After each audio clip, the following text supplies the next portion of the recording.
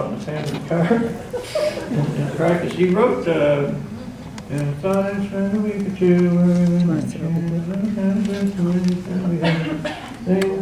What's the name of this? Thinking about last time, when my love was here. Yeah, he wrote that in his, uh, his dad's backseat of his dad's car when he was, he was seventeen when he wrote that. Okay, the hell with that, let's get going here. Um, uh, I hear good things about this next group.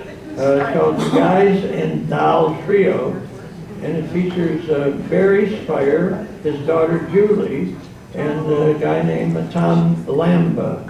Uh, uh, Julie Speyer or something. See, please welcome the Guys and Dolls Trio.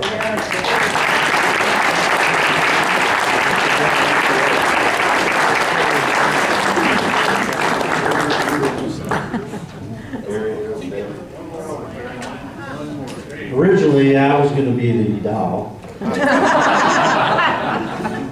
Took a vote and I lost. And I was just thinking about the first royalty check I got was for ten grand too, and, uh, and my dad didn't get mad at all, but he wanted to borrow nine grand. from me.